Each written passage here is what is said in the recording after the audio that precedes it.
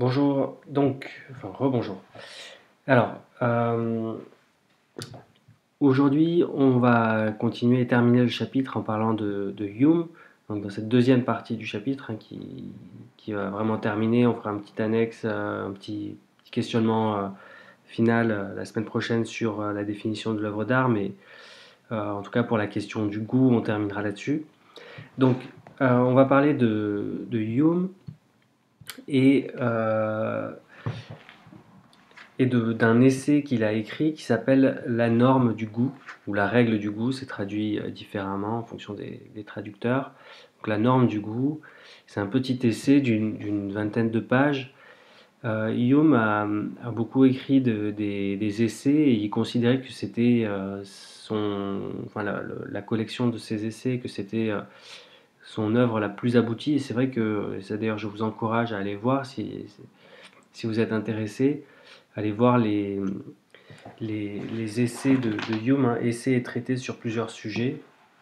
Il y a vraiment des choses hein, sur tout, sur la politique, sur, euh, sur euh, l'écriture, sur l'histoire, euh, sur l'art, beaucoup de choses sur l'art, sur la morale beaucoup de choses très intéressantes euh, et qui sont écrites de façon vraiment euh, assez admirable. Euh, et puis c'est très court, donc c'est voilà, une lecture agréable. Je vous recommande si vous, ne savez pas quoi lire.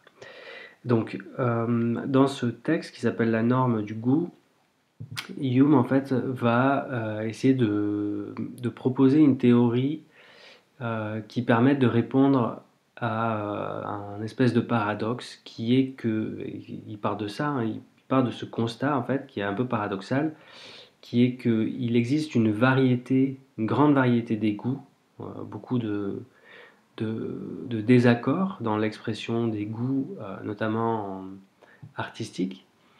Mais malgré, malgré ça, il y a quand même une forme de régularité dans les jugements. Et il y a certaines œuvres qui, qui, qui passe vraiment au-delà de cette, euh, de cette variété des goûts. Il y a certaines, certaines œuvres qui tout simplement euh, sont considérées comme universellement euh, belles, alors même qu'on remarque par ailleurs une grande variété des goûts. Donc il faut arriver à expliquer pourquoi il y a cette variété et en même temps une forme de régularité. Alors, la solution qu'il va proposer, elle s'appuie en fait sur euh, une démarche générale qu'il adopte, euh, notamment dans sa philosophie morale, et euh, qui repose sur ce qu'on peut appeler une forme de, sentimentalisme.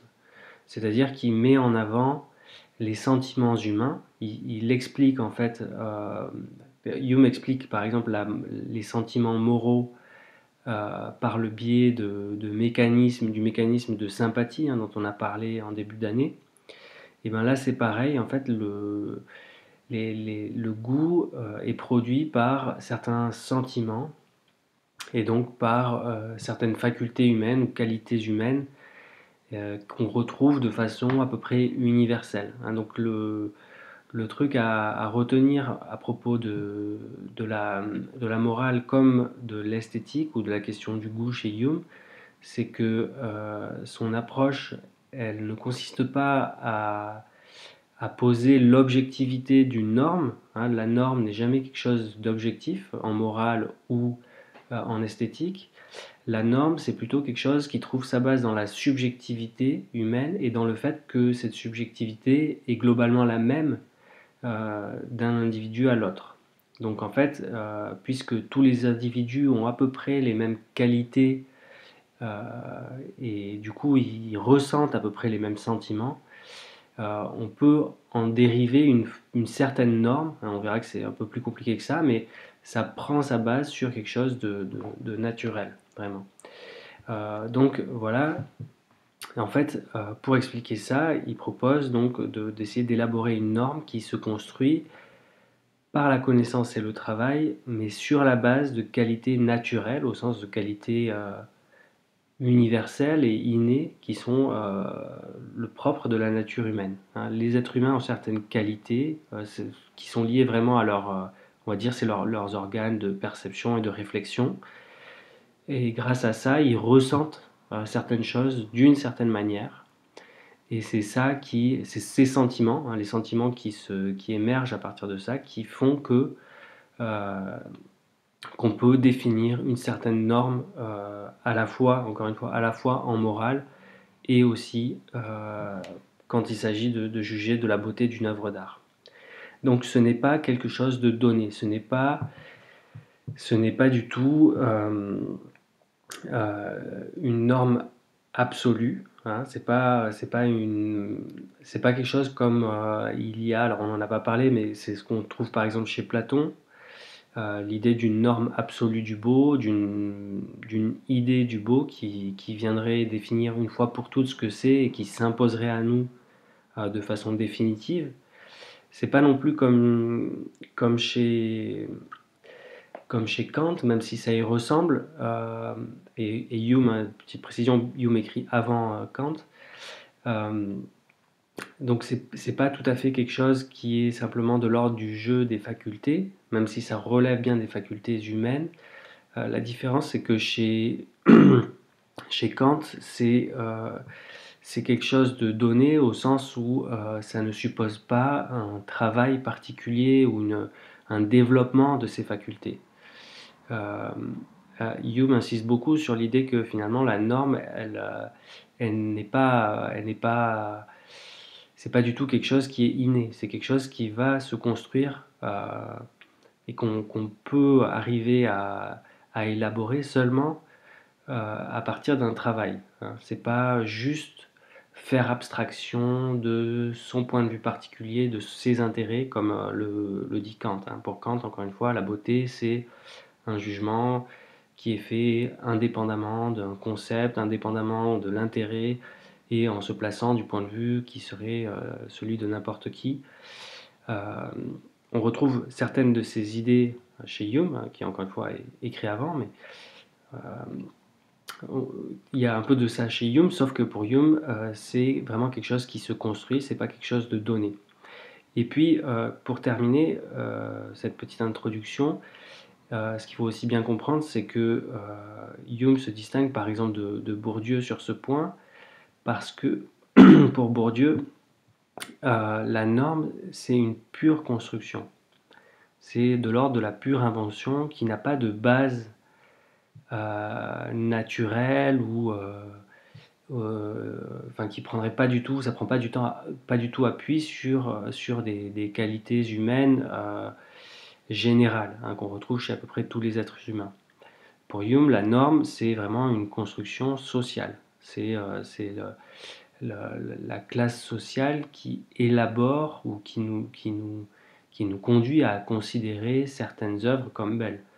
Mais c'est vraiment euh, de l'ordre de, de, de, de, la création artificielle, de la construction pure et simple, à partir de rien.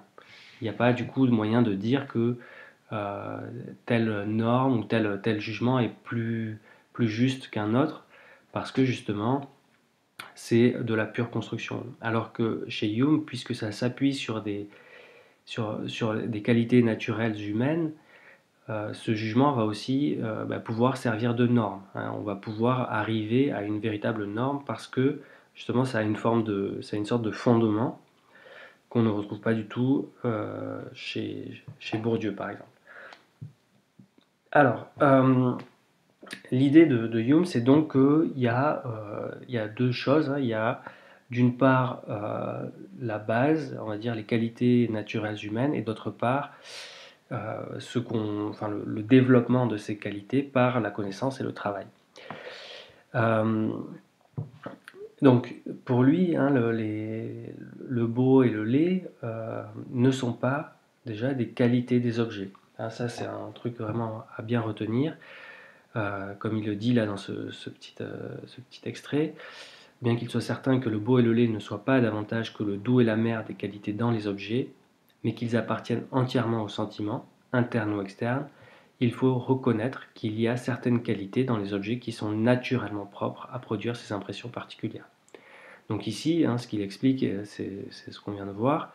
Donc le beau et le laid euh, ce ne sont pas des qualités des choses, c'est pas quelque chose d'objectif, c'est quelque chose qui appartient au sentiment. Alors là, il dit sentiment interne ou externe. Ce qu'il faut comprendre ici, c'est que ben, le sentiment externe, c'est de l'ordre de la perception hein, des choses. Donc il y a des choses qu'on va trouver belles du point de vue de la, de, la perception qu'on en a. Donc par exemple, je sais pas, un tableau, un coucher de soleil, mais aussi, je sais pas, la musique par exemple. Et puis le sentiment interne, c'est plus lié à la réflexion, à ce qu'on peut ressentir quand on, quand on, quand on réfléchit à quelque chose ou quand on l'analyse, ou enfin, dans une perspective plus intellectuelle. Donc là, euh, ce à quoi il pense, à mon avis, c'est euh, bien sûr à ce qu'on peut ressentir quand on lit un livre.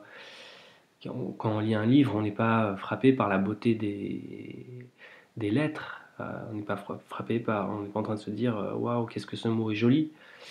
Euh, c'est pas, c'est pas la perception de, de, du mot sur le papier qui nous frappe, c'est l'histoire qui est racontée, c'est tout ça. Donc c'est un sentiment qui est plutôt interne que lié à la simple perception des choses. Donc voilà, en tout cas, pour Hume, c'est le, beau et le laid, ce sont des sentiments ce ne sont pas des qualités objectives. Hein. Donc là, Kant le rejoindra tout à fait sur ce point. Ce que dit, euh, ce que dit Hume ici, c'est que malgré ça, malgré cette subjectivité du coup de ces sentiments, euh, eh ben, en fait, euh, il y a certaines, certaines certains objets ou certaines qualités dans les, dans les choses qui vont forcément ou euh, de façon, euh, ben, comme il le dit, naturelle, produire ces sentiments. Hein, donc le, le beau et le laid ne sont pas objectifs, mais il y a des qualités qui produisent, des, qualités objectives hein, cette fois, des qualités dans les objets qui produisent euh, ces sentiments. Et ces, ces, qualités les produisent euh, de façon naturelle, c'est-à-dire que ça correspond naturellement à certaines qualités que nous on a ou certaines, facultés humaines de perception. Hein. Étant donné en gros notre façon de percevoir les choses, alors euh, ces qualités ou certaines qualités vont être amenées à produire tel sentiment. Euh, il donne un, exemple dans ce texte il donne un exemple qui me semble assez, intéressant. Donc euh, voilà, il dit, euh, malgré toute cette variété capricieuse du goût, il y a certains principes généraux d'approbation ou de blâme, euh, etc. Certaines formes ou qualités particulières, de par la structure primitive de notre constitution interne, sont faites pour plaire et d'autres pour déplaire. Hein, donc là, c'est ce qu'on vient de voir. Il y a certaines propriétés des choses qui vont forcément nous plaire ou nous déplaire étant donné, nos, étant donné la structure primitive de notre constitution interne, c'est-à-dire étant donné les organes de notre perception ou, euh, étant donné euh, notre réflexion, la façon dont fonctionne notre, notre réflexion. Donc sentiment interne ou sentiment externe, mais voilà, certaines qualités vont naturellement produire ces sentiments-là parce que euh, notre constitution interne est faite de telle manière. Et il compare ça à, euh, à la perception de la couleur. Et je trouve que c'est assez parlant comme euh, comparaison, parce que, ben, vous le savez j'espère, la couleur, c'est pas à proprement parler une qualité des choses. Hein. on ne peut pas vraiment dire que, je sais pas, le, le rouge, euh, ce soit, il euh, y, a quelque chose comme voilà du, rouge sur euh, cette feuille de papier. En réalité, c'est pas, c'est pas la, couleur n'est pas dans les choses. La couleur, c'est une longueur d'onde. Hein, c'est la longueur d'onde de la lumière. C'est pas du tout une propriété de la chose elle-même. Il n'y a pas euh, le, rouge en lui-même, par exemple, n'existe pas. Hein, c'est notre, notre œil qui traduit cette longueur d'onde d'une certaine manière. Mais la couleur, elle n'est pas dans les choses. Hein, c'est plutôt une qualité subjective euh, parce que c'est notre organe qui va faire naître cette impression à partir de la longueur d'onde particulière qu'on perçoit. Donc la longueur d'onde, c'est quelque chose d'objectif, c'est une qualité de, la chose, et cette qualité de la chose, elle produit en nous un certain sentiment qu'on appelle euh, le rouge, par exemple. Euh, et, et, du coup, en fait, le rouge n'est pas dans les choses, le rouge est en nous, c'est quelque chose de subjectif, et, c'est quelque chose de subjectif, mais qu'on retrouve chez toutes les personnes qui perçoivent euh, à peu près normalement. Euh, donc, euh, c'est-à-dire ceux qui ont une constitution interne correspondant à la majorité des personnes. Bien sûr, il y a certaines personnes qui ne perçoivent pas les couleurs de la même façon que nous parce qu'ils ont certains, un certain désordre, comme dit Hume, dans leur, dans dans leurs organes. Mais, mais qu'est-ce qui se passe dans ce cas-là? Eh bien justement, comme ces gens ne sont pas la majorité, on va avoir tendance à dire que, par exemple, un daltonien ne perçoit pas les vraies couleurs. Alors qu'on pourrait dire qu'en fait, il perçoit des couleurs différentes. Mais on va avoir tendance à penser que euh, il y a comme une norme qui se dégage tout simplement de la majorité, hein, puisque la majorité des personnes perçoivent euh, là aussi du rouge, par exemple, alors euh, on va considérer que ça c'est la couleur rouge, que ça c'est vraiment rouge, comme si c'était objectif, alors même que en fait c'est subjectif et qu'il y a d'autres personnes qui peuvent être amenées à percevoir les choses différemment. Et on dira dans leur cas qu'ils ne perçoivent pas les vraies couleurs. Hein, comme il le dit à la fin du texte, de même que la couleur sous, laquelle les objets se donnent en plein jour à l'œil d'un homme en bonne santé est dite être la vraie couleur, la couleur réelle de ces objets, même si l'on reconnaît par ailleurs qu'elle n'est qu'un fantasme d'essence.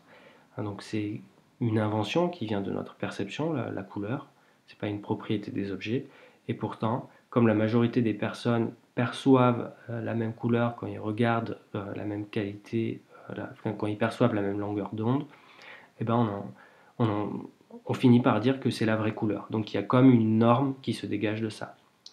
Mais du coup, cette norme, hein, elle, se, elle est le produit vraiment, à la base déjà, de, du fait que les êtres humains ont à peu près tous les mêmes organes, la même euh, constitution interne, ou la même structure primitive de notre constitution interne.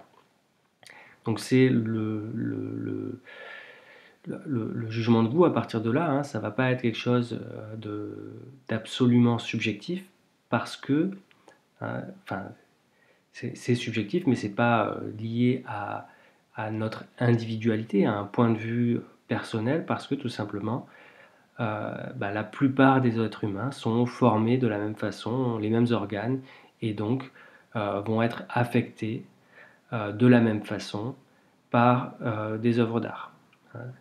Certaines qualités sont faites pour plaire ou pour déplaire de par la structure primitive de notre constitution interne. Alors, du coup, euh, voilà la base. Hein. la base, ça va être euh, d'avoir en fait des, euh, une structure qui est celle de la majorité. Et on pourra dire, ce que va dire Hume, j'en viens très vite à ça, ce qu'il va dire, c'est que du coup, quelqu'un qui ne perçoit pas les choses ou a des organes un petit peu en désordre ou qui ne fonctionnent pas parfaitement, ben, il sera forcément incapable de, juger correctement euh, d'une œuvre d'art, de sa valeur. Hein. D'après Hume, c'est une, nécessité. Euh, alors, du coup, à partir de, ce, de, de cette idée selon laquelle il y a donc une base naturelle qui permet d'élaborer un jugement qui servira de norme. Euh, ce que Hume va faire, c'est qu'il va identifier euh, cinq critères de la norme du goût. Euh, et c'est ici qu'il va faire intervenir tous les aspects, tous les éléments qui permettent de développer, d'améliorer en fait nos, organes de perception. Hein, parce qu'il y a cette base naturelle, comme je le disais, mais il y a aussi le fait qu'on la développe hein, par le travail et la connaissance. Donc, cinq critères de la norme du goût. Alors, le premier, en fait, on vient de le voir, c'est euh, le fait de posséder euh, des, euh, des, organes internes sains. Hein. comme il le dit là dans ce court extrait, les organes internes sont sujets à de nombreux défauts qui détournent souvent, ou du moins affaiblissent l'influence de ces principes généraux dont dépend notre sentiment de la beauté et de la laideur. Bien qu'il y ait certains objets qui, par la structure de l'esprit, soient naturellement faits pour donner du plaisir, ce n'est pas à dire que ce plaisir soit senti également par chacun. Il se produit des événements ou des situations particulières qui, tantôt, jettent sur les objets une fausse lumière, tantôt empêchent la vraie lumière de porter dans l'imagination le sentiment qui convient. Donc là, c'est vraiment ce qu'on vient de dire. Euh, il, y a, euh, il y a des qualités qui, normalement, et là le mot normalement est important, produisent du plaisir, euh, et donc le sentiment de beauté ici, ou au contraire une forme de, de déplaisir dans le cas de la laideur. Mais il arrive que certaines personnes ont des défauts dans leurs organes internes et du coup sont incapables de ressentir ce plaisir comme le ressentent la plupart des personnes. Et euh, bien sûr, euh, on ne peut pas dire qu'ils ont tort ou euh, que c'est de leur faute ou qu'ils se trompent, mais le fait qu'il y ait une norme, que la plupart des personnes ressentent les choses de la même façon, fait quand même qu'on va dire qu'ils ont tort. Hein, même si c'est peut-être un abus de langage, on va quand même finir par dire qu'ils ont tort, tout simplement parce que la majorité des personnes perçoivent les choses d'à peu près la même manière. Euh, quelqu'un qui, euh, je ne sais pas, a des problèmes pour percevoir clairement ben, les couleurs, par exemple, il va, il va peut-être trouver un, un tableau à cause de ça euh, pas beau du tout. Et pourtant, on va quand même dire, enfin, on va avoir tendance à dire que bah, il, se, trompe parce que justement, son jugement ne correspond pas à la norme. Et notamment, il ne correspond pas à euh, ce que l'artiste qui a produit le tableau avait en tête. Hein. Parce que justement, l'artiste qui produit un tableau, en général, il le fait en pensant à euh, la façon dont euh, la majorité des personnes vont le percevoir. Hein. Il faut qu'il ait quand même, il faut qu'il pense à ce qu'on voit. Hein. Et éventuellement aussi inciter les gens à voir comme lui, mais en se disant que c'est possible. Hein. Si l'artiste se dit je vais créer une œuvre que moi seul vais pouvoir apprécier, son œuvre, je veux dire, elle aura forcément aucun succès et elle sera pas non plus très intéressante parce que justement, euh, euh, qu'est-ce que ça, nous apporte à nous, aux autres, au public, d'accord? Donc voilà, la première chose à faire, c'est ça, c'est avoir, euh, une sensibilité saine, hein, c'est-à-dire vraiment des organes des sens, internes ou externes, qui soient qui correspondent à la norme en fait, qui correspondent à la majorité des personnes. Les autres auront, euh, ceux qui malheureusement sont affectés par une maladie ou quelque chose comme ça, euh, et ben ils, seront dans une situation problématique. Ça ne veut pas dire qu'ils ne peuvent pas ressentir bien sûr ou qu'ils ne peuvent pas juger du beau ou du laid, mais euh, ça veut dire que leur jugement sera pour le, pour le coup subjectif, lié à leur seule subjectivité parce que justement leur leur défaut est particulier. Enfin, même si on ne peut pas forcément toujours parler de, de défaut, hein, mais leur, euh, leur différence en fait est particulière. Alors le deuxième, euh, le deuxième critère, c'est euh, un critère que vous avez vu, je pense, dans le, texte dans lequel Hume raconte l'anecdote de Sancho Panza. Donc, euh, dans cette anecdote, hein, c'est quelque chose de. C'est une anecdote assez rigolote. Euh, où en fait il s'agit, hein, donc euh, c'est des ancêtres de Sancho qui, qui goûtent un vin et chacun d'eux émet un jugement un petit peu différent. Hein. Les deux le trouvent excellent, mais il y en a un qui dit oui, mais il y a un petit goût de cuir, et l'autre, il dit, oui, il est très bon, mais euh, il a un petit goût de fer. Alors, euh, quand on les entend euh, dire des choses bah, un peu contradictoires comme ça, on se dit mais c'est qui ces, gens? Est-ce que c'est pas des guignols? Parce que voilà, ils prétendent émettre un jugement valable sur le vin, mais ils n'arrivent pas à se mettre d'accord. sauf que, hein, comme, comme le raconte Hume, enfin plutôt Cervantes, euh, vous ne pouvez imaginer à quel point tous deux furent tournés en ridicule pour leur jugement, mais qui rit à la fin, en vidant le tonneau, on trouva en son fond une vieille clé attachée à une courroie de cuir.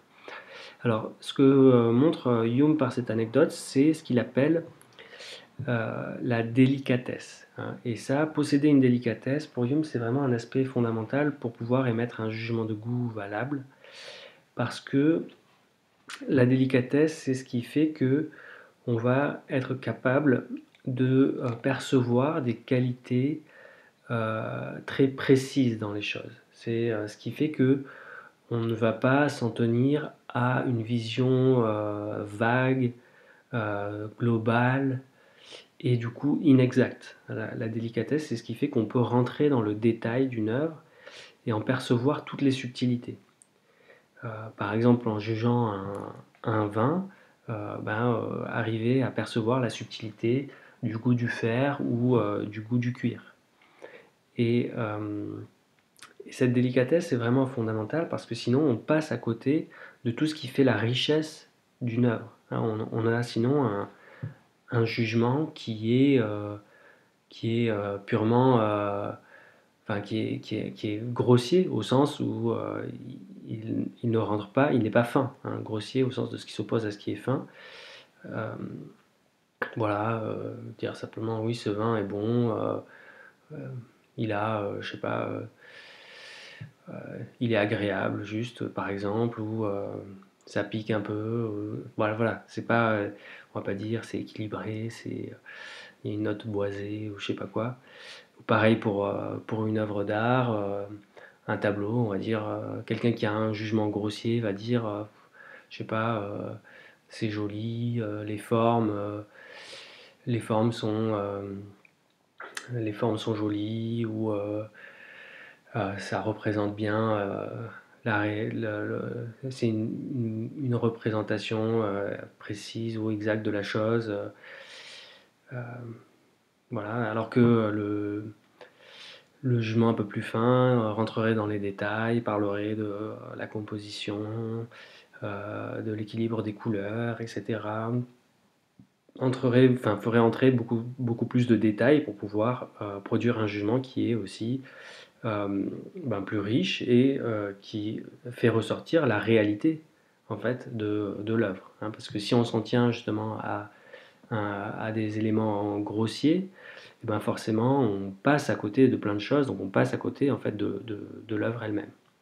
La délicatesse, c'est ce qui permet de percevoir de façon précise euh, l'œuvre elle-même. Hein. Sinon, on ne, on perçoit pas vraiment tout ça. Alors, euh, la délicatesse, euh, ce, que, enfin, ce, que, ce que dit Hume, c'est que c'est quelque chose qui est distribué inégalement entre les individus. Donc, il y a certains qui ont naturellement une plus grande délicatesse que d'autres. Mais euh, il dit que cette délicatesse peut se renforcer et doit se renforcer en fait de toute façon, même quelqu'un qui naturellement possède une certaine délicatesse doit la renforcer par euh, le troisième élément qui est la pratique. Hein, donc voilà, le, troisième critère de la norme du goût, c'est de pratiquer son goût, de le mettre à l'épreuve. Et euh, le texte que je vais vous faire lire là euh, explique précisément pourquoi. Donc voilà ce que dit Hume, mais bien que pour la délicatesse la nature est marquée de grandes différences entre les personnes, je ne sais rien qui augmente et améliore davantage ce talent que la pratique d'un art particulier et l'examen répété ou la contemplation assidue d'une espèce particulière de beauté. Donc, euh, comme il le dit, hein, pour parvenir à percevoir de façon plus précise une œuvre et donc euh, arriver à, la saisir dans euh, sa singularité, hein, dans ce qu'elle a d'unique, eh ben, il faut euh, pratiquer en fait. Pratiquer, alors la, pratique, elle passe soit par le fait de, de faire soi-même l'art en question, et ici je pense que c'est c'est très juste ce qu'il dit. D'ailleurs, celles parmi vous qui font de la musique en ont certainement l'expérience. quand, avant qu'on commence à pratiquer un instrument de musique, quand on, écoute un morceau, ben, on ne perçoit pas trop les différents instruments, on ne perçoit pas trop si c'est juste ou faux, si c'est en, en, rythme ou pas. voilà, il y a un certain nombre de choses qu'on n'arrive pas à percevoir clairement. Euh, alors que euh, grâce à la pratique, euh, et notamment le fait de pratiquer un instrument, ben, on finit par avoir un jugement beaucoup plus aiguisé, donc on finit par, par pouvoir identifier par exemple tous les instruments qui jouent dans un groupe, par, par pouvoir reconnaître quand c'est faux, quand c'est juste, quand c'est en rythme ou pas, etc. Alors, le, le, fait de pratiquer un art fait que on va aussi percevoir les œuvres différemment. On va les percevoir de façon plus précise, euh, aussi plus exigeante du coup, parce que justement on va vraiment comprendre ce qui se passe, hein, ce qui n'est pas le cas si on n'a pas euh, de pratique ou ni de délicatesse. Euh, et bon, c'est la pratique d'un art, mais ça peut être aussi, comme il le dit, hein, l'examen répété, donc le fait de, passer du temps à, euh, je sais pas, traîner dans les musées, écouter de la musique, ou euh, contemplation assidue d'une espèce particulière de beauté.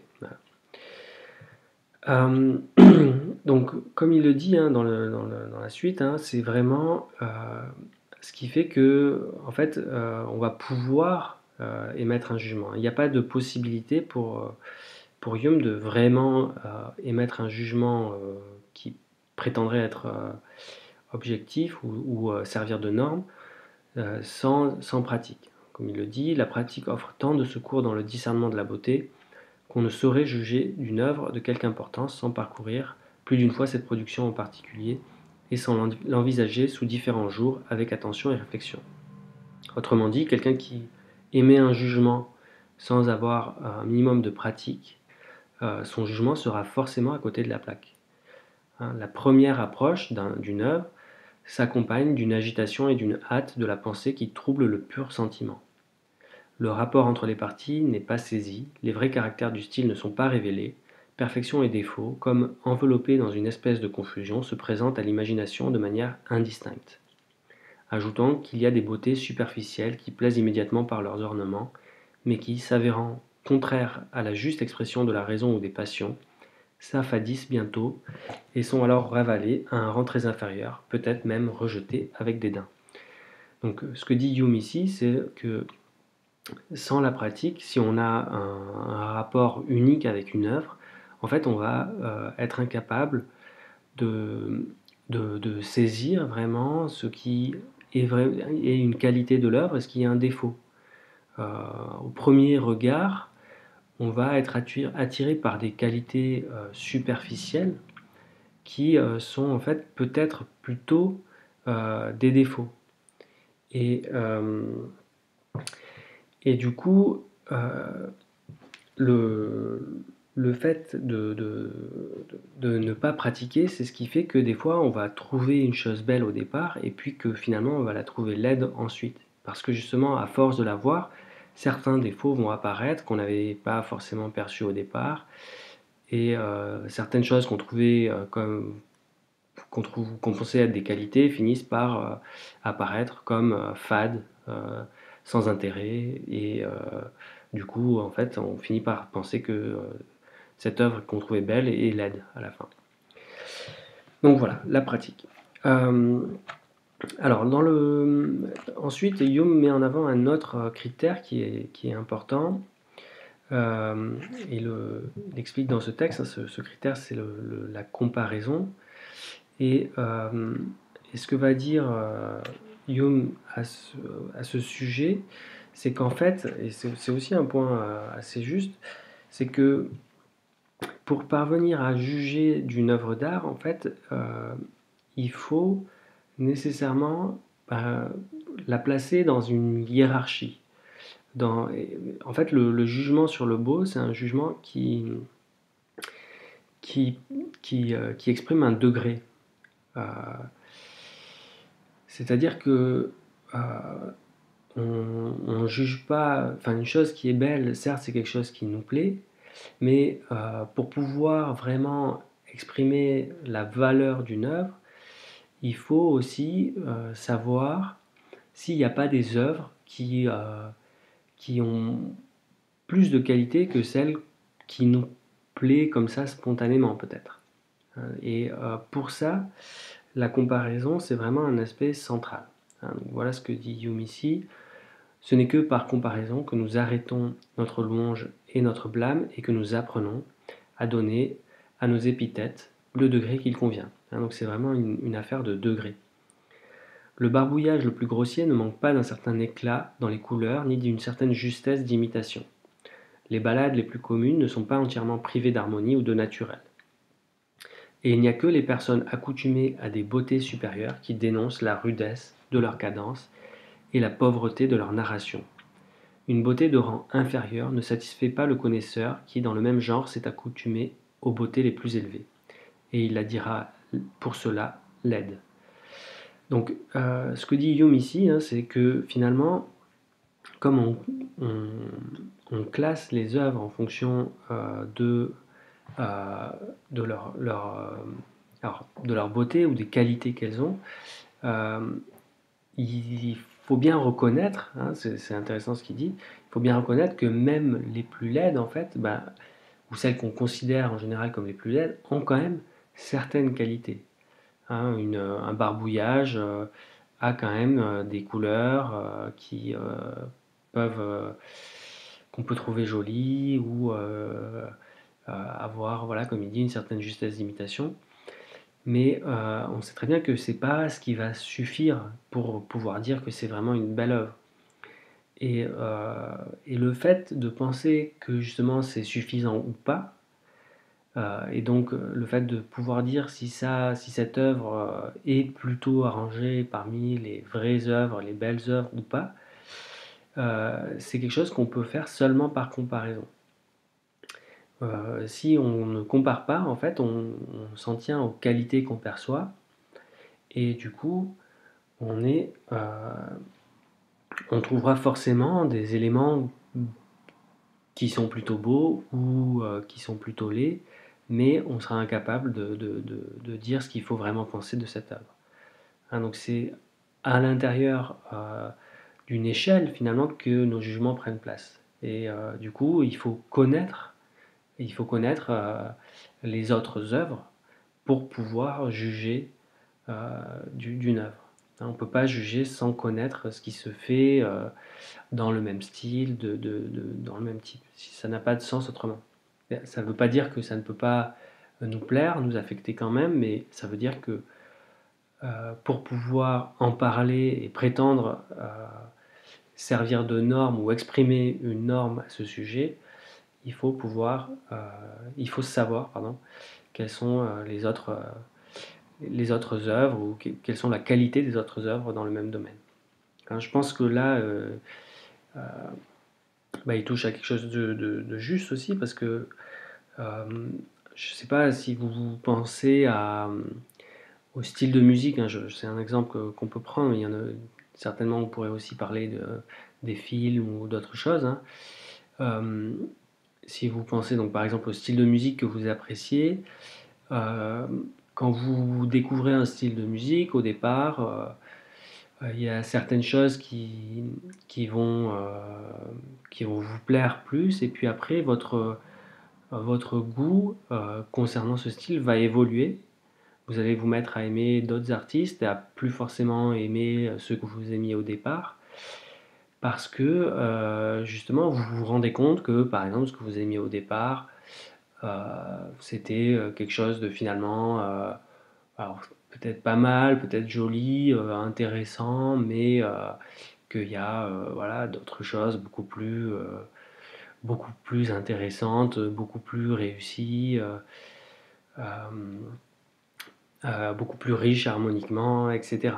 Hein, si on pense par exemple, je, vous donne un exemple que, qui me concerne plus, plus personnellement, le, le, jazz par exemple, euh, si, vous, si vous commencez à écouter du jazz, et moi c'était mon cas quand j'ai commencé à écouter du jazz, bon, euh, les morceaux que, que, je trouvais super, c'était par exemple Take Five de Dave Brubeck, qui est un morceau voilà, qui s'écoute très facilement, qui est, qui est très joli, avec des, des, des, jolis solos, etc. Et puis, euh, il y avait d'autres choses que je ne pouvais pas écouter, que je ne trouvais pas, euh, que j'arrivais pas à, comprendre. Mais à force de comparaison, euh, ce morceau en particulier, on finit par le trouver un peu plan-plan, par se dire que voilà, c'est ok, c'est joli, il y a bien une harmonie, il y a bien de. C'est bien sûr joué par des grands musiciens, etc. Mais il n'y a pas toute la richesse qu'on peut avoir chez je sais pas, euh, certains morceaux de John Coltrane ou des choses comme ça. Donc voilà, la comparaison, c'est ce qui fait aussi qu'on va euh, pouvoir émettre le, jugement approprié en fait. Hein. C'est-à-dire qu'on va euh, lui accorder le degré qui convient. accorder à l'œuvre le degré qui lui convient. Alors, le, dernier critère, donc là on voit, je ne sais pas si vous avez remarqué, mais on, a parlé tout d'abord de vraiment de la question de la sensibilité et du fait que cette sensibilité était quelque chose qui pouvait se travailler. Hein, donc il y a vraiment cette dimension d'exercice. et puis cet exercice, il passe aussi par, euh, une connaissance. Hein, l'exercice passe par une connaissance parce que bah, pour comparer, il faut connaître, hein, bien sûr. Et donc on, passe de quelque chose de plutôt sensible au départ à quelque chose qui devient plus intellectuel. Et dans la, enfin, le, cinquième critère, justement, c'est un critère qui est, euh, qui est pour le coup presque entièrement intellectuel, euh, et donc qui appartient plutôt à la question de la, de la connaissance. Et ce critère, c'est le fait de parvenir à se débarrasser de ses préjugés et euh, posséder ce que Hume appelle un certain bon sens. Donc voilà ce qu'il dit euh, euh, toujours dans, son, dans son essai. Le critique doit avoir l'esprit libre de tout préjugé et ne rien prendre en considération que l'objet même qui est soumis à son examen. C'est un fait d'observation que l'œuvre d'art, pour produire un juste effet sur l'esprit, doit s'envisager d'un certain point de vue, et qu'elle ne sera pas pleinement goûtée par ceux dont la situation, réelle ou imaginaire, n'est pas conforme à ce qu'elle exige. Alors déjà là, dans ce premier extrait, ce que dit Hume et qui est vraiment, euh, moi je trouve euh, là aussi très juste, c'est que euh, en fait une œuvre d'art, quelle qu'elle soit, une œuvre d'art, elle, porte avec elle un certain point de vue. Elle doit être envisagée d'un certain point de vue, comme il le dit. C'est vraiment, je vais mettre en gras ce point l'œuvre d'art doit s'envisager d'un certain point de vue. Sinon, forcément, elle n'aura pas l'effet escompté. Euh, si vous regardez, euh, je ne sais pas, euh, Titanic, en vous disant que c'est une comédie, par exemple, ben, ou en espérant voir une comédie, vous serez forcément déçu. si vous regardez une comédie en, en espérant avoir un film policier, c'est pareil. Donc, le truc, c'est que pour pouvoir juger d'une œuvre d'art correctement, il faut arriver à se mettre euh, dans le point de vue ou à, accepter d'avoir le point de vue qui est requis par l'œuvre elle-même, celui que porte l'œuvre d'art, celui qu'elle exige pour pouvoir produire son effet. Et là, euh, euh, on peut penser aussi pour illustrer ce point à, l'extrait d'Intouchable que, que je vous ai mis sur Pearl Trees hier. Euh, dans cet extrait, on, voit les, les, personnages principaux là, aller à, l'opéra euh, pour voir un opéra de Wagner, si je ne me trompe pas. Euh, et le personnage d'Omar Sy éclaté de rire quand il se rend compte que c'est en allemand et que c'est un arbre qui chante. Alors, évidemment, là, il, ça le fait rire. Euh, et en soi, bon, on peut se dire que le, le, rire, enfin, c'est tant mieux, ça, il vaut mieux en rire. Mais bon, au fond, ce qu'il exprime, c'est bien sûr, euh, c'est c'est de la moquerie, c'est euh, le fait que, oh là là, quoi, qu'est-ce que qu'est-ce que c'est ce truc ridicule? Et bien sûr, enfin, il a le droit, enfin tout le monde peut penser ce qu'on veut de, de n'importe quelle œuvre, mais euh, bien sûr ce jugement n'est pas, n'est pas valable en dehors euh, de l'effet que ça produit directement sur lui. bien sûr la scène elle est magique, hein, parce que c'est, c'est vraiment très très drôle comme, comme situation, mais euh, le jugement qu'il exprime, en tout cas, voilà, c'est là pour le coup un jugement qui, qui exprime un certain préjugé au sens de, du fait qu'il a une attente par rapport au fait de se retrouver à un concert et que euh, cette attente n'est pas, euh, n'est pas, euh, n'est pas remplie. L'œuvre d'art de, Wagner, l'opéra, exige voilà, ben, certaines choses qui peuvent paraître un peu, un peu étranges. Donc ça, ça impose d'adopter un certain point de vue quand on y assiste.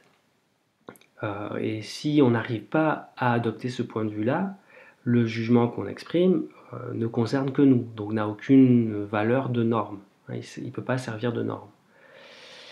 alors ce que, ce que dit Hume ensuite, qui est, qui est aussi intéressant à mon avis, il dit de la même façon, quand une œuvre est produite en public, je ne dois pas être retenu par le sentiment d'amitié ou d'hostilité que peut-être j'éprouve pour l'auteur. Me considérant comme un homme en général, il faut que j'oublie autant qu'il est possible ma propre personne et les circonstances qui me sont particulières. Donc sur ce point, euh, c'est intéressant parce qu'on voit que c'est vraiment cette idée que Kant va retenir après quand il parlera du sens commun. Hein, le, sens commun comme faculté permettant de euh, de, juger euh, d'un point de vue qui pourrait être celui de n'importe qui, c'est exactement ce que Hume recommande ici de faire. Hein. Il dit pour pouvoir se libérer en fait de ces préjugés ou d'une certaine tendance qui ferait que notre jugement serait partial, hein. vraiment dans ce sens-là, dans le sens d'une partialité, il faut que j'arrive à me considérer comme un homme en général oublier ma personne et les circonstances dans lesquelles je suis. Donc par exemple ici, euh, l'amitié que je peux avoir pour un auteur, euh, le, je sais pas, le fait que euh, je trouve qu'il est, que cette, je sais pas, pour, pour reprendre l'exemple de la musique, la plupart des, des, jugements sur la sur la, la, qualité d'une musique reposent en fait sur sur l'attirance physique qu'on a euh, pour euh, le musicien ou le chanteur ou la chanteuse. Euh, pourquoi est-ce que les, chanteurs qui ont beaucoup de succès sont en général très beaux? Ben, parce que, Ou les chanteurs ou chanteuses ou plutôt bien foutus ben, Parce que justement c'est du fait qu'on est attiré par leur physique qu'on leur prête des qualités musicales ou artistiques ce qui est en fait un préjugé. Hein. Il faut, pour pouvoir juger réellement d'une œuvre d'art, euh, arriver à se détacher d'une euh, certaine attirance qu'on peut avoir. Alors ça peut être euh, une amitié, si c'est un, ami qui, fait de la musique, pareil, pour juger objectivement de ses qualités musicales, il faut arriver à penser que euh, ou à se détacher de son point de vue particulier et non plus euh, en pensant euh, à, ce qui nous lie, etc.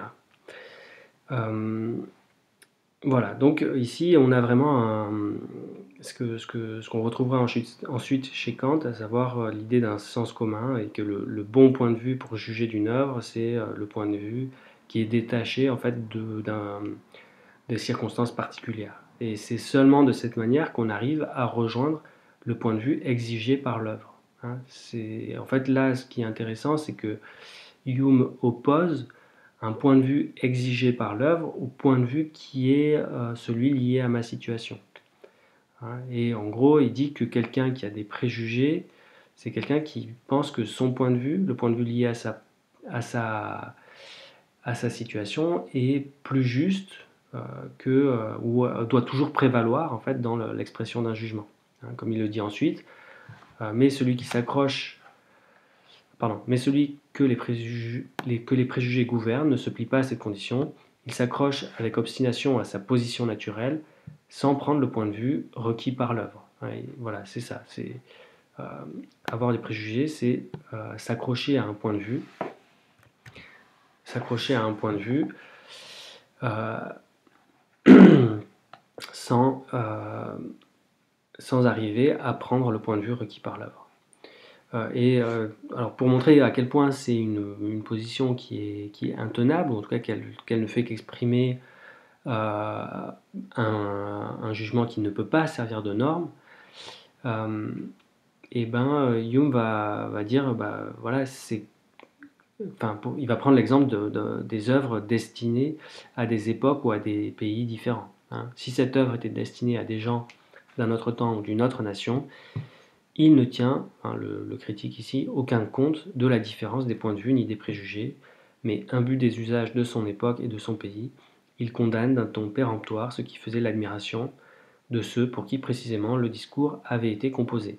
Donc voilà, l'œuvre d'art ou le discours euh, a euh, une certaine euh, visée, doit, enfin, exige de, un certain point de vue, ou en tout cas s'adresse un certain point de vue, et c'est une erreur manifeste hein, de, penser que c'est notre point de vue qui doit toujours prévaloir. Ce n'est pas le point de vue qui est celui du spectateur, le spectateur doit en fait faire l'effort d'entrer euh, dans le point de vue de l'œuvre, dans le point de vue qui est visé par l'œuvre. Et si on n'y arrive pas, ben forcément notre jugement sera incorrect. Euh, et là, bon, il y, a, voilà, il y a quelque chose aussi qui est bien sûr euh, très juste hein, dans, ce que dit, dans ce que dit Hume, hein, parce que ben, si on écoute par exemple du rap, on l'écoute pas de la même façon que si on écoute de la musique classique. Et donc, quelqu'un je sais pas, quelqu'un qui aime la musique classique et qui euh, dirait que euh, tel morceau de rap est nul parce que euh, parce que c'est pauvre mélodiquement, que c'est toujours le même rythme, etc. Ça, ça, c'est juste un contresens en fait sur la position qui doit être adoptée, hein, parce que justement, quand on écoute un morceau de rap, on l'écoute pas pour les mélodies ou pour ou pour les variétés rythmiques. c'est pas de cette position-là qu'il faut écouter euh, telle œuvre. Et chaque œuvre, en fait, a sa, a sa position particulière ou, euh, engage une certaine position particulière. Euh, l'erreur, c'est de penser que nos attentes doivent prévaloir sur celles qui sont requises par les œuvres. Donc voilà les cinq critères de la norme du goût et ce que dit Hume, c'est que quelqu'un qui possède ces cinq critères qui arrivent à avoir, euh, qui a déjà donc une sensibilité saine, qui arrive à avoir, avoir une délicatesse, qui pratique son goût, qui compare des œuvres, donc qui a, des connaissances, une culture hein, en gros, et qui arrive à aussi adopter le bon point de vue. Hein, euh, c'est ce que Hume appelle aussi euh, avoir un certain bon sens. Hein, c'est le fait de, justement bah, juger de l'œuvre en fonction de, des critères requis dans le style. Euh, ne pas appliquer par exemple les critères de la musique classique à, du rap. Euh, c'est faire preuve d'un certain bon sens. Hein. Donc il dit que celui qui possède, celui ou celle qui possède ces critères est un véritable critique et puis il exprime la norme du goût, hein, la norme, de ce, de ce qui est beau non pas au sens d'une beauté absolue, encore une fois, mais de ce que la plupart des êtres humains euh, peuvent considérer comme beau, étant donné que ils ont tous à peu près, sauf exception, euh, mais ils ont tous à peu près la même sensibilité, et s'ils travaillent, s'ils ont des connaissances, ils la développeront aussi de la même manière. C'est euh, le, dernier texte de Hume que vous aviez avec des, des questions hein, qui reprend vraiment cette, euh, idée-là. Hein, et, euh, et, voilà ce que dit Hume à la fin. Hein. le verdict réuni de tels hommes, où qu'on puisse les trouver, constitue la véritable norme du goût de la beauté. Donc là, quand il dit ces tels hommes, c'est ceux qui ont justement réussi à obtenir ces différents critères, à avoir ces, différentes qualités. Euh, et ben, les jugements hein, de, ces personnes constituent la véritable norme du goût et de la beauté. Alors, euh, je conclus donc maintenant sur, sur Hume, hein, c'est un peu long, désolé. Donc, pour Hume, donc, il existe une norme du goût. Hein. C'est vraiment quelque chose d'important à retenir. C'est qu'on ne peut pas dire à chacun son goût au sens où le goût dépendrait des particularités, des particularités de chacun. alors bien sûr, chacun a ses particularités, mais euh, malgré ces particularités, il y a quand même une norme qui euh, peut, alors c'est pas qu'elle peut s'imposer, c'est-à-dire que Hume n'est pas en train de dire que vous n'avez pas le droit d'aimer telle ou telle chose, euh, il est en train de dire que de la même façon qu'on a le droit d'avoir les opinions qu'on veut, ça ne veut pas dire qu'il n'y a pas de vérité. Hein. si j'ai envie de croire qu'il y a des personnes qui habitent sur la Lune, que, je sais pas, que les fantômes existent ou des choses comme ça, euh, bon bah très bien, c'est euh, mon opinion et euh, on doit respecter mon opinion. Mais c'est pas parce que chacun a son opinion sur cette question qu'il n'y a pas une vérité derrière. Et donc ici c'est la même chose. chacun a le droit d'avoir son goût, mais il y a quand même une norme. Et cette norme, elle implique le fait que euh, eh ben, le goût est quelque chose qui peut parvenir à une objectivité. Hein. donc il n'y a pas, c'est pour ça qu'on ne peut pas dire à chacun son goût, parce que justement, il y a quelque chose comme un bon goût, ou le bon goût, euh, ou le goût, euh, le, goût qui, qui devrait concerner tout le monde, ou vers lequel tout le monde pourrait tendre, ou la, la plupart des personnes, sachant que certains n'ont pas une sensibilité saine.